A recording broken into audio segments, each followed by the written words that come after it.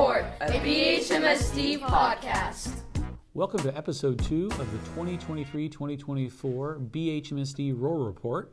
I'm excited to join back with you today to share some information about our district. But first and foremost, I want to welcome everyone back to the school year. We started off our school year very well, welcoming back new students and returning students, as well as some new staff inside of our building. So we've had a great start to the year, and I really appreciate your efforts and hard work as we start the year, but also your patience as we go through some changes happening throughout our district. First off, at our middle school. As you can tell, our middle school still is under a bit of construction. The roof project is still lingering on into the school year, and our transportation um, traffic areas are also being finalized.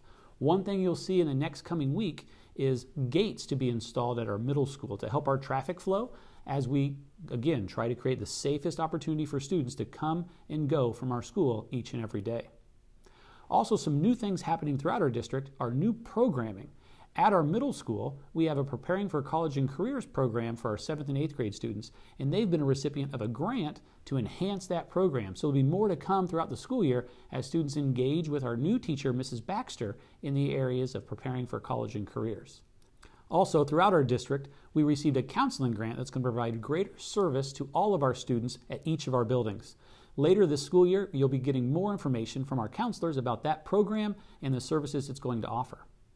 Lastly, of new information going on in our district, in the coming weeks, you'll be receiving information from our district regarding calendar options for the 2024 2025 school year. I know we just started the 23 24 school year, but we're already looking forward to the 24 25 calendar. And we want to get your feedback on the best way to develop a calendar to meet your needs as a student, as a family, and as our faculty and staff for our greater community. So be on the lookout for information uh, regarding our calendar options and what is most important to you as we build a calendar for the 24 25 school year. On this episode, we're going to be bouncing around a couple different areas throughout our community. Our first stop will be at our Bluffton Harrison Elementary School to visit with our parent teacher organization and what they provide to our students and staff at Bluffton Elementary. We'll also stay there and have a conversation with Mrs. Moser, our preschool teacher, and Mrs. Linderwell, our elementary principal, about the new experiences available for our preschool students in our experiential preschool classroom focused on farm engagement or our agricultural business. And also information about our, our courtyard playground that our preschool and kindergarten students will be able to use that is brand new to start this school year. Our last stop will be venturing out into the community to see one of our alumni from the class of 1976 as we'll be visiting the Wells County Public Library Ossian branch to have a conversation with Mrs. Susan Daly. Welcome. I'm here with Mrs. Janelle Frauhiger, and she is the president of our Bluffton Harrison Elementary School Parent Teacher Organization, better known as the BHES PTO. So, welcome, Mrs. Frauhiger. I appreciate you being here. Yeah, thanks. It's good to be here. So, first off, for those that maybe aren't familiar with our PTO, what is our PTO and, and what do they help with here at our elementary? Um, so our PTO is basically just um, a group of parents and a group of teachers. We have a representative mm-hmm. for each grade, and you know our different organizations here that mm-hmm. represent the teacher side, and then parents that are here to be a part of everything that's involved. Um, we raise money and we support our teachers and our staff here at the elementary. Mm-hmm. Um, we do different things for the teachers. We raise money that is all directly goes back to our students here at Bluffton Elementary through field trips and extra things in the classroom, through snacks and games and mm-hmm. all the fun things. We host um, several events throughout the year. We have a big first event coming up just this week, correct? This Thursday night is our back to school family night. Um, we'll have um, a light supper, hot dogs, and pop and snacks and chips um, for purchase in the cafeteria, and then some bounce houses in the gym. Mm-hmm. So they can come in and they can eat, they can play. Um, the kids can show whomever they bring their classrooms, their lockers, right. all the things that they're excited about as we start this school year. Yeah, that event does serve a, a dual purpose, yeah. um, getting involved with the school. But if you didn't have a chance to come out at registration day or didn't get a chance to come in yet to the building, it's a great opportunity to come in, see your students' classroom, see where they're having fun each and every day. Yeah, for sure. Mm-hmm. Yeah. So besides that event, what are some other kind of the big things that the PTO helps sponsor throughout the school year for the elementary school? Yeah, so um, coming up, some of our events are more fundraising events where we try and earn some money to give back to the school, and mm-hmm. some of our events are just purely for fun. Right. Um, so, up most coming up the quickest is our walkathon will mm-hmm. be in October, and our book fair. I did that backwards a little bit, but our book fair will be the end of September. So the book fair is kind of another dual purpose. The mm-hmm. kids get to come in, purchase books, and then part of those proceeds go back to the school. And then the walkathon is in October. Um, and that's just a fun day. The kids all get a free T-shirt. We have um, fabulous businesses in our community that sponsor Right. sponsor these T-shirts. So every kid gets a T-shirt, and they just get to go to the track. And uh, Mr. A is our DJ for the day. and DJ they- Paws. Yep, they walk and they run and they they have a great day out the track. So if a parent wants to be involved with the organization, Yep. um, there, there's a couple different levels to that. They could just be helpful as a volunteer Yep. At any event that we have. Correct. Um, but also they could be actually on the on the PTO board Yeah. and, and serve. So Yep. when do you meet? How does that how does that work? And how does somebody get involved? So, um, you know, any any teacher here at the school or administrator of the office, they would all know how to get in contact with me if they have any questions or want to become involved. Um, we have a meeting the, starting in September, the first Tuesday of every month at 6:30 in the meeting room. Is that what it's Yes. called? Yep. Um, so we just, they're not real long. There's it's a no pressure. We just talk about what's coming up, our agenda, kind of the teachers give a slight report as to, you know, what each grade, what's happening in that month. And it's just informational, but you can also learn how to become involved. So, um, yeah, you Great. can, we're going to be looking for a couple positions. Um, we've got a couple of us moms that are have fourth graders that are moving out of Right. the building, and then also just each event. Yep. You know, it can be an hour, it can be just a short amount of time, but we're always looking for help. Well, it's a great partnership that the PTO has with our elementary school that, like you said earlier, just drives right back into the programming for Yeah. our students. And we appreciate that as a district. I know our elementary team really appreciates the service Yeah. that our PTO brings. So if you're interested in, in serving in that area, please reach out. I'm sure they'll take more hands to help. And then uh, our leadership group may be moving on here in a year or so with. Uh, with new faces to come in to fulfill those roles. So, thank you so much for joining us, Yeah. Mrs. Frauhiger, Yeah. and uh, we appreciate all you do to help us out. Yeah, we're thankful for all everything that's done here on a daily basis. Great. Welcome. We're here at our elementary school with our principal, Mrs. Linderwell, and our preschool teacher, Mrs. Moser, to share a little bit of information about our new upgrades to our preschool programming and our playground equipment. So, welcome. Thanks so much for being here. Thank you, Dr. Yates. I'm excited to talk to you about our inclusive playground. We have a lot of new items and equipment that were added there to help kids in different ways, not only to get outside and obviously burn off some of that energy, but also to meet some of their sensory needs that they may have um, through movement. We also have um, on our playground a new lamp board. It's a communication device that many of our students have already been running over to and pointing out different words to help them communicate not just with their teachers but also with their peers. It's pretty exciting to watch.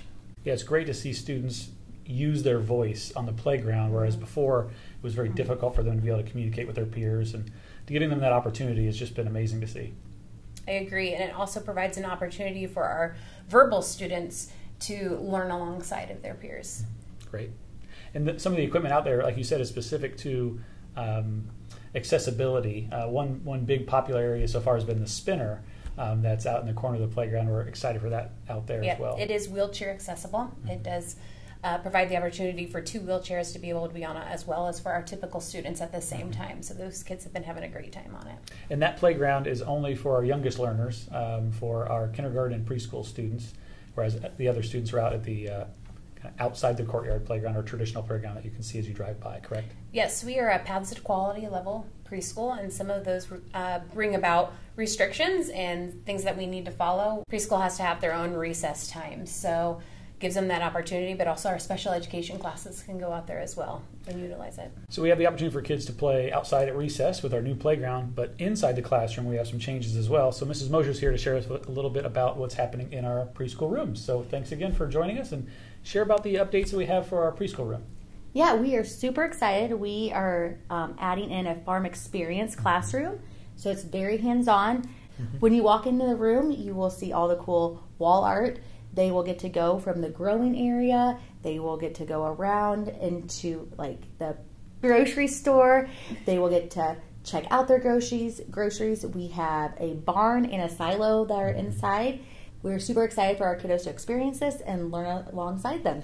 Yeah, it's going to be great to see our students get fully immersed into kind of the farm world as you think, as students walk through that doorway and then get to see all those different components. Will they be in there every day, or how does that work for a preschool kid when they're actually in the classroom? So yes, so our we're going to take turns. We have three different um, preschool classes, so we will take turns and we will rotate every three weeks. So three weeks we will be uh, one class will be in there, and the next three weeks, and we'll just go rotate. And so we'll basically be doing the seasons on the farm Mm-hmm. and rotating through. Great. So they're learning lessons while actively playing in, in that farm experience, and they go back and, and have that traditional learning time in a, in a different classroom as well. Yes. Wonderful. And it's really exciting to see when, it, as it's getting nearer to completion, that our students will be able to really get in there later on this semester and get the full experience of what they'll have in the preschool farm experience classroom. So, thanks so much for sharing information about our preschool rooms as well as our new playground areas. I appreciate your time and, and to share just a little bit of the, all the great things that are happening here at our elementary school. Thank you. Thank you. As part of our alumni spotlight this month, we're visiting with Mrs. Susan Daly, who works for the Wells County Public Library, and she's the Ossian branch manager. So thanks a lot for letting us come out and invade you here at your office. Um, but we're really excited to highlight some of our alumni and our history for Bluffton High School. So thanks again for letting us come in. And what year were you a class of at Bluffton High School?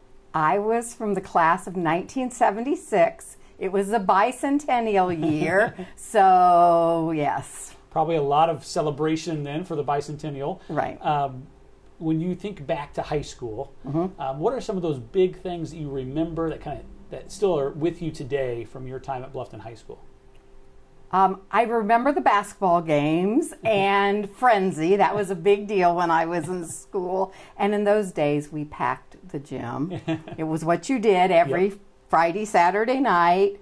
Um, our class actually, I think, won the sectional. I think back Wow. on, but Yeah. that was before we had classes, Yes, so right. you know, way back in the dark ages.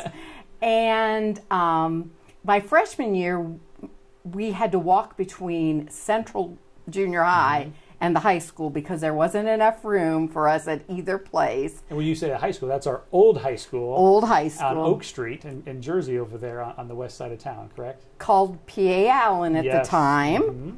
though Yeah. no one ever called it that. so yes, it was that school, and Central, of course, was on Washington. Yeah, Not such great memories of Central School, but I I enjoyed my high school great, years. great.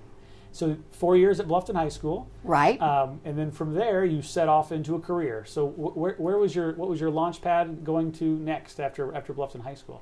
well, my senior year, I did cadet teaching, Okay, and I had thought I wanted to be a librarian, but when I did my cadet teaching, I decided that's what I wanted to do instead. so I went to Ball State University and got my um, elementary education te- degree. wonderful. In those days, though, teaching jobs were very hard to come by. Um, so when I got out, I actually had a nine, no, six week teaching job at Lancaster for a maternity leave. Okay, By the time I was finished, I was expecting my first child. And it's a lot easier to be a part time librarian than a part time sure. teacher. Yeah. So I went back to the library. Which I started when I was 15 as a shelver. We called them pages in the old library. Um, and then I just kind of went back and stayed. So the only time I have not worked for the Wells County Public Library was those six weeks. And actually, I even worked like Friday nights Yeah. during that period. Wow. So I've been on their payroll since I was 15. and probably seen a lot of change, not only in the library programming, but also in the community with the schools, um, just being a part of, of the community in those areas. So, thinking back over your time when you first started out with the library and came back at kind of as a part time, full time capacity, what, what are some of those big moments that, that would have um, shined for you looking back over that history? When I started, we still wrote library card numbers Wow. on the card, and we had a little dater at the end of the pencil, and you stamped it, and that's how when people knew. Yeah. And I've been going back through kind of my history at the library. Then we went to an automated system where you had a metal plate on your card, Mm. and you put it in this little machine, and it went kachunka, and stamped your date due and your library card number. Then we went to computerized, and we've gone through, I think, three or four iterations of a computerized Wow. system. It is just A lot of change to manage, a lot of change to manage. new expertise to gain. Um, when, when you think about high school kids today, um, and I know you're, you're a grandparent of some high school kids Right. as well, what would be some good advice that you would probably give um, to a high school kid, or maybe even to yourself way back when, if you could give yourself some advice as well, um, going back into your mindset of being a high schooler? Um, I would say take advantage of some of the extra things that you get to do because I was a yearbook editor um, when I was in high school, and that's not really something you ever get to do again. Yeah. I was in some plays, um, not very good, but again, it was a great experience. Choir, I don't have a great voice, but that was something. And then it gives you kind of a niche Sure. and a group of people. But I started, you know, at Bluffton when I was a a kindergartner. so I, you know, I had kids that I had known all the way Sure. through. Yep. So, and when I was there, it was K to six at Eastside, and then seven to nine at the middle school, well, junior high, Yep. and Right. then ten to twelve at the high school. So, yeah, enjoy the time, uh, make friends, but have a lot of fun. Yeah, great. And and I know at our high school now, kids have a lot of opportunities to get engaged in different ways, um, and hopefully they have some fun while they're while they're doing that too. But they're able to, to last, uh, to build some lasting memories. Um, so hopefully, years years down the road, they can they can be at moments to be able to recall back some great moments that that you've Yeah. even thought of here today. So I, I really appreciate you opening up your door to us and just letting us put a little spotlight on uh, some of our previous alumni. Anything else you'd want to share um, as a as a former Tiger? My parents were Tigers. They graduated from Bluffton, and now I have three grandchildren who are Bluffton, so it's a multi generational thing. And when my parents passed, we did set up a scholarship in their name Yep. because my mom worked at the Bluffton schools for more than 50 years. She started, left, graduated, and the next Monday started as a secretary. and my dad drove bus, and he loved driving the football team. Yeah. So, yeah, I have lots of good Bluffton memories. great people giving great service over many years. Yes. And just like yourself here with the uh, Wells County Public Library as well. So we're, we're proud to have you in our ranks as, a, uh, as an alumni, and we wish you the very best um, for the rest of your time. So thank you so much. It's always great to connect with another one of our alumni here for Bluffton High School and Bluffton Harrison Metropolitan School District. As you can tell, Mrs. Daly has had a great career in our community serving at the Wells County Public Library, and we wish her the very best. Upcoming next month, our Bluffton High School Bengal Brigade will be hosting the Banks of the Wabash on September 9th. So if you're in the area and available, we would encourage you to come and visit and see the wonderful bands that will be coming to Bluffton High School for the Banks of the Wabash competition. Lastly, just as a bit of information ahead of the upcoming November election, Bluffton Harrison Metropolitan School District will be offering a safety referendum on the election ballot.